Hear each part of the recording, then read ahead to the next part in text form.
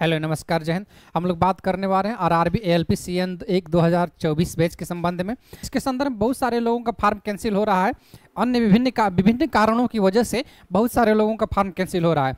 तो किनका किनका फार्म कैंसिल हुआ है और जिनका फार्म कैंसिल है, उन्हें क्या करना चाहिए और आपका फार्म कैंसिल हुआ है कि नहीं हुआ है, आप कैसे अपना चेक करेंगे और अगर किसी प्रकार की समस्या हुई है तो आपको क्या करना चाहिए, इसके बारे में संपूर्ण जानकारी आपको प्रोवाइड कराएँगे इस वीडियो में। तो वीडियो को बने रहें।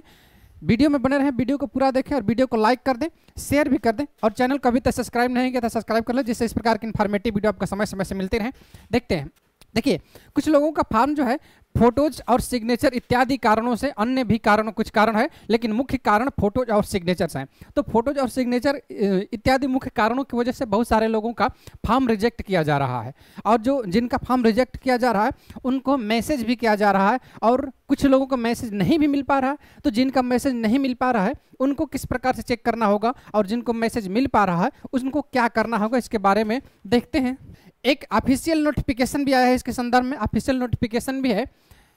Government of India ministry of railways railway recruitment board ये नोटिस है।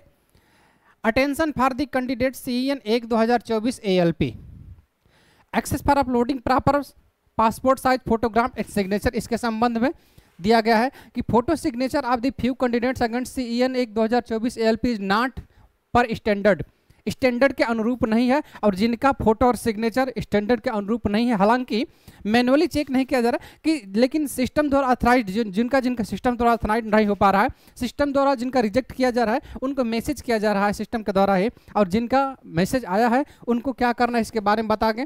सबसे पहले फ़ोटो और सिग्नेचर की बात है और फ़ोटो सिग्नेचर स्टैंडर्ड फॉर्म में नहीं है।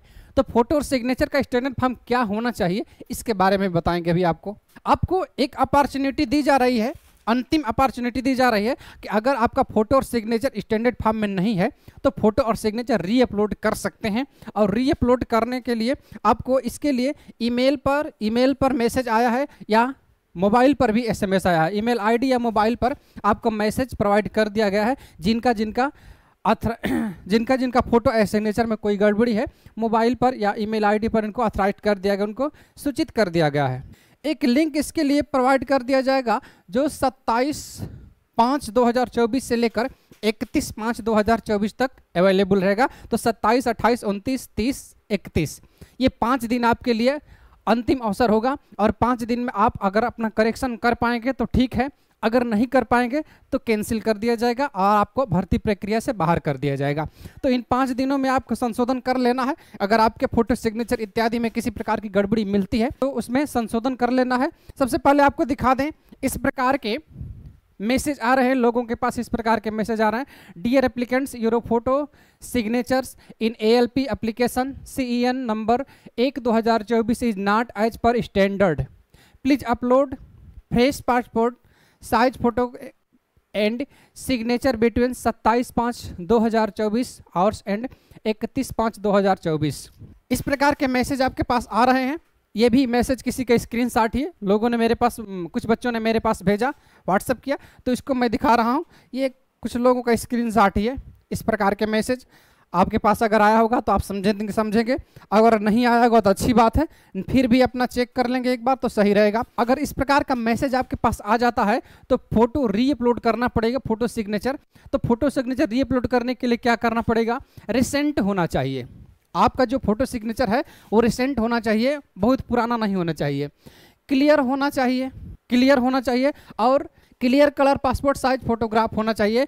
पासपोर्ट साइज़ का होना चाहिए। क्लियर कलर होना चाहिए। वाइट बैकग्राउंड के साथ होना चाहिए।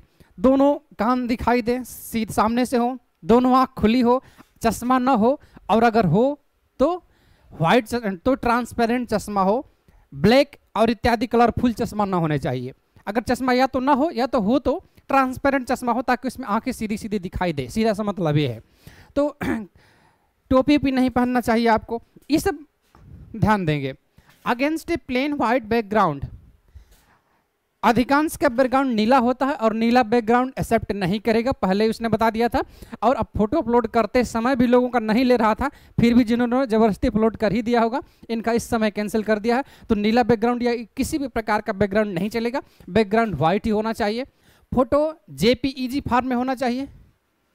जिसका साइज़ 30 के बी से 70 के बी के बीच होना चाहिए, यानी कि 30 के बी से अधिक होना चाहिए और 70 के बी से कम होना चाहिए।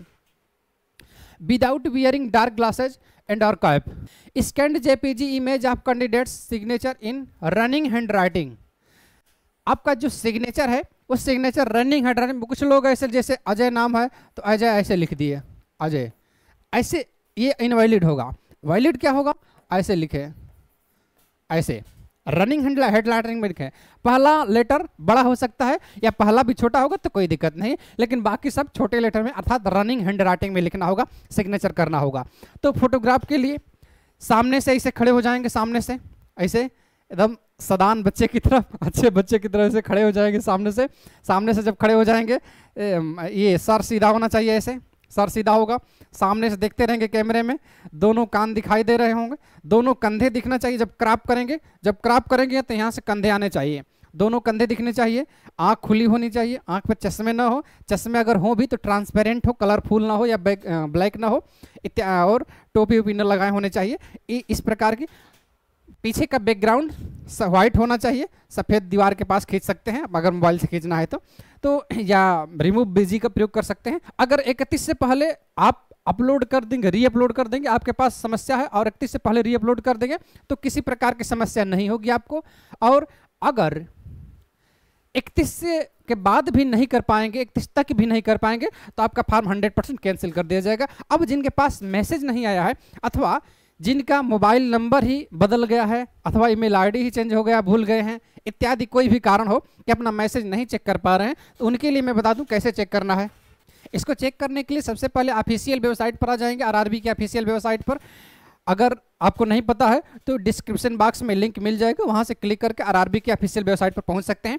उसके बाद पहुँचेंगे तो इस प्रकार की आपको जो है कि, इस प्रकार के लॉगिन वेबसाइट पर डायरेक्ट पहुँच जाएँगे और लॉगिन वेबसाइट पर डायरेक्ट पहुँचे लॉगिन वेबसाइट पर पहुँचेंगे। उसके बाद इसमें मोबाइल नंबर या ईमेल एड्रेस डालना होगा। तो मोबाइल नंबर या ईमेल एड्रेस डाल देंगे इसमें। पासवर्ड इसमें जो भी बनाए होंगे डाल देंगे। और ये कैप्चा जो दिख रहा है, यहाँ पर डाल देंगे। अगर ये भूल गए हैं तो यहाँ से फारगेट पासवर्ड करके भी अपना कर सकते हैं। फ़िलहाल मैं आपको डाल के दिखा दे रहा हूँ। मोबाइल नंबर और पासवर्ड डाल के जो ही लॉगिन करेंगे तो इस प्रकार का पेज खुल जाएगा। जनरल इंस्ट्रक्शन पर खुलेगा, उसके बाद ऑनलाइन एप्लीकेशन कर सकते पहले एप्लीकेशन हिस्ट्री में जाएँगे एप्लीकेशन हिस्ट्री में चेक करेंगे और यहाँ एप्लीकेशन हिस्ट्री में चेक करेंगे तो यहाँ पर आपको पेंडिंग दिखा रहा है सक्सेसफुल दिखा रहा है सक्सेसफुल दिखा रहा है।